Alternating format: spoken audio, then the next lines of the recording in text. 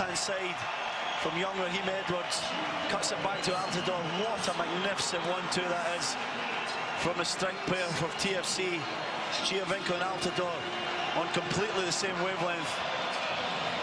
One-two, magnificent ball back and a touch and finish. Emphatic from Jozy Altidore, putting his side into a very commanding 2-0 lead.